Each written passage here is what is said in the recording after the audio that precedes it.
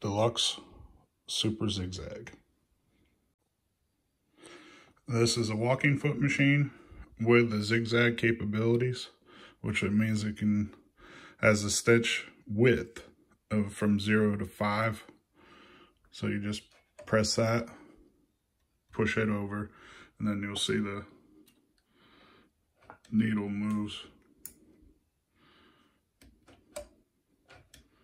It also has be able to position from middle to right to the left and then back again.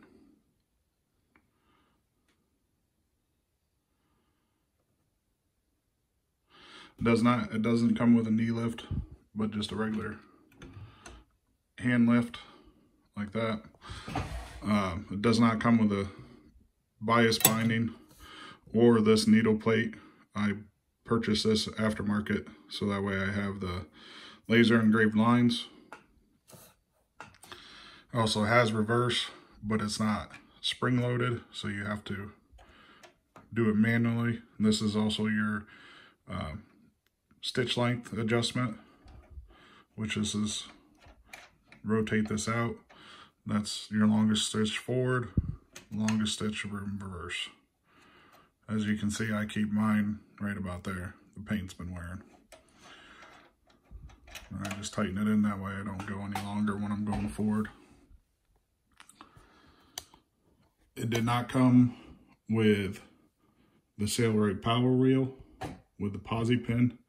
I purchased that separately from eBay. Sailrite does not sell you this machine unless you, this power wheel unless you have a Sailrite machine. So this is getting it from somebody else that might be parting something out is the only way to get it. It does have a regular it's a little bit more powerful than a regular home sewing machine motor. I think it's around 9,000 RPMs. But you can, if I want to at a later date, I can hook up uh, an industrial motor, a servo motor, or a clutch motor. It'd be more likely to be a servo motor. And then we can take a look at the underside. I did put industrial hinges on there. Um, before we take a look at the underside, uh, it's got a um, working base of right around nine inches. One of the reasons why I got it has more space for material to go through. Has an overall width of around 16 inches. Makes it nice. And then the height, it's that's right around, I'd say four and a half of height. Uh, I did add this LED light. It's magnetic. I just have it running down the corner of my table right there where the power cord goes down as well. Um, the hinges didn't come with this machine. Um, a table doesn't come with this machine. There isn't a um, portable stand that comes with it or anything or a carrying case if you want to uh, basically you have to build those stuff i mean there's some places that will make you a table to as long as you tell them what your specs are is for your just tell them what your machine is they'll be able to build you a table which is in you know the few hundred dollar range um, so i wasn't i built the table myself it's pretty much standard size for industrial table it's a little over two feet wide uh, with a little over four feet, four feet long. I do have a metal tape on here. That way I can just measure things out real quick. Thickness is right around an inch and a half. I have two pieces of uh, three quarter inch plywood. And then I have hardwood trim around the side. So it's very, definitely very sturdy. And then as far as uh, the table base, it's just three quarter inch uh, black black pipe. And with the, I put uh, flanges on the feet that way I can adjust the level either direction. Um, and then there's the foot pedal. Uh, like I said, you would have to, if you did, if you did add a industrial machine, uh, industrial motor, you, I would have to add, do something to be able to use the, you know, regular foot pedal as that, you know, come on when you buy a regular industrial machine.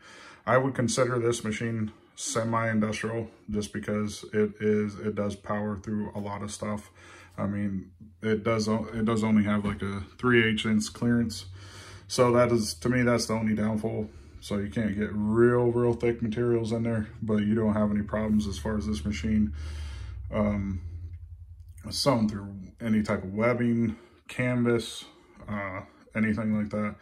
Uh, my primary purpose right now is I've been sewing uh, shopping bags like this one. This is an uh, old beam uh, coffee beam sack and I put edge banding on it and straps. Also, uh, I do have intentions to sew something like this up, which is a tree saddle. Um, so you can see right there, there is several layers of webbing in there and this machine will have no problem uh, going through that. Uh, all right, so then I have I have industrial hinges. Um, I did have to modify the hinge pins a little bit. I didn't want to mess around with the holes as far as hole size in the machine itself. I, I just uh, grinded down the pins on the hinges itself and that way they fit in and they fit in well and they work. Uh, if you don't want to do that, you can get regular uh, standard home sewing machine hinges. You can find those anywhere from Sailrite to Sewing Gold to um, Gold Star Tool or even eBay. You, you know, I paid I paid less than ten dollars for these industrial hinges. They didn't come with the screws, but the the rubber part and the metal part is what they did come with. Um, oh, I also added the thread stand, which has been working out really nice. I chose this one that screws down with three holes. I chose that one over the industrial, the one normal industrial thread stand that has, you know, probably half inch, three quarter inch posts that you drill a hole through. That way, if I didn't like the position of it, I could easily patch those holes and move it. Um, and then, then you can see the thread on the right is my bobbin thread I have going through here through the bottom of the bottom of the post there around the the piece here, which uh, it's not really a tensioner, but it helps the thread spin. And then of course you got your bobbin winder right there, which which is nice with the posi pin is you can take the pin out and then the wheel can rotate and the needle doesn't move. So you can actually wind your bobbin without having your needle go up and down. And then it's just as easy to put it back in there and then the needle moves. But as far as threading, uh, normally what I do, because I like having this stuff set up at the same time, um, I take my top thread, I run it through the top of the post, around this twice, this little, this little pigtail here. You can see how that goes through there. Down through this hole, up and around, down, through the tensioning plates, up and around, and you make sure you catch the take-up spring right there. And then what it does, it goes up and around and catches in there. Your take-up leather, lever, then you go down through the hole, and then left to right. So there's that. All right, so let's take a look at the bottom of the machine.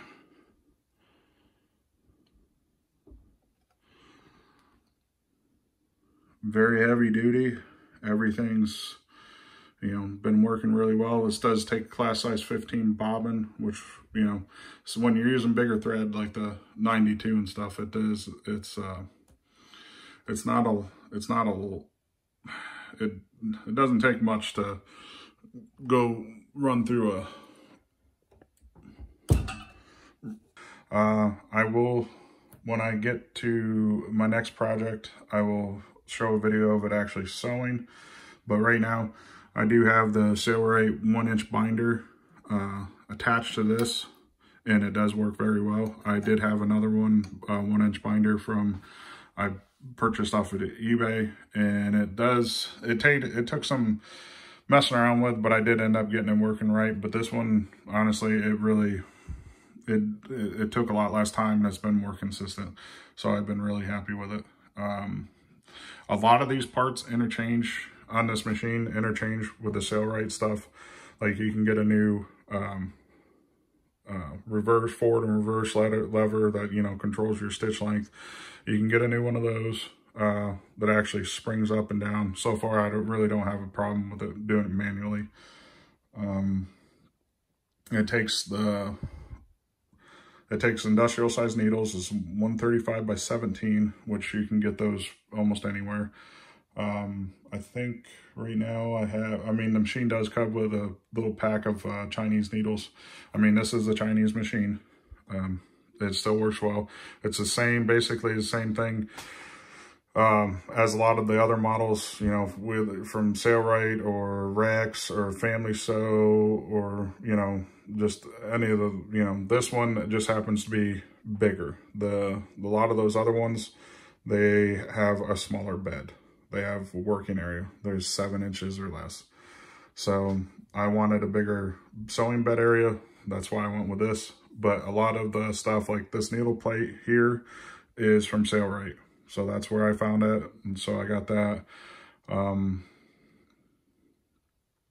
other than that, that's pretty much it. Everything's been working really well. Uh, oiling, it's really easy. The, oh, the Sailrite manual, you know, pretty much covers it a lot. It covers it really well as far as all your oil po oil points. And it's it's really pretty simple. You know, at first I thought it was a daunting task about, man, where am I going to know how to oil this because of the, you know, nothing wrong with the seller I got it from, even though there seems to be, a, you know, they do speak English, but there is a language barrier because the seller I got this from is from Canada, and I'm assuming French Canada, the French Canada, Canadian area. But that's not here nor there. But um, the manual that they supply with it is a little, leaves a little bit to desire. You know, it's photocopied off, so it's black and white. Uh, you can get the Sailrite manual and it has, it's a small book, but it's very detailed and it's got color, which makes it nice. And it goes through a lot of stuff, you know, if you have troubleshooting and all that. So, and those, and honestly, if they, if Sailrite would have, you know, had uh, a zigzag machine that came in a nine inch bed, I would have probably, I would have probably purchased it from them just because, you know, everything I've read, they have phenomenal customer service and every time I've dealt with them, they've been wonderful. So there's nothing wrong there. Uh, I'm, I'm at 13 minutes with this, so I'm gonna try to cut it. I'm gonna cut it short here. That way it's not too long. You guys aren't watching a really long video of me rambling on. So uh, if you guys have any questions or anything like that, leave them a comment below. Uh, give it a thumbs up, share, whatever, you know, I'd appreciate it. Thanks. Oh, there was uh, one thing I did forget to mention. The thread I'm running through now is size V92, which I got from the Thread Exchange. It was great. The thread's been working awesome. Um, that's, I mean, there's, that's one thing I definitely, you need to, I recommend make sure you get quality th thread from a quality supplier. That way you don't have any issues. Um, if you look up here, you can see my, my thread stand or my bobbin holder, my thread spool holder there the two upper ones, upper left, the yellow, have the yellow tab, and the other one, you can see that has those uh, flexible holders on them. Those threads, I got one off of Amazon and got one off of uh, eBay, Chinese made. Um, they just do not perform very well. Uh, the bottom spools here, that you got the red, white, black, and the green. Um, those small, those spools, those are Gutermann extra strong. They're the same as um, the same as Tera 40 or uh, T70 or uh, V69. So it's definitely thick and it's good quality thread though too. That's something you can get at Joann's. Uh, at least my local one, I can find it there. Uh, so yeah, this machine as far as thread size, um, it can handle regular uh, home sewing machine thread. You just may have to make sure you adjust your upper tension and your bobbin tension before you do it. Um, and it can handle all the way up to, I have running V92 right now, so that's pretty thick thread. Um, but I imagine I could probably handle pretty close to V138, and that'd probably be about the max. Um, other than that, I think that's the last little tidbit. And like I said, if you guys have any questions, uh, just post them below. I do my best to comment whether the video is a day old or two years old. I'll, you know, I'll get back to you the best I can. Uh, just, you know, if you don't mind, hit the like button, subscribe, and share. Thank you.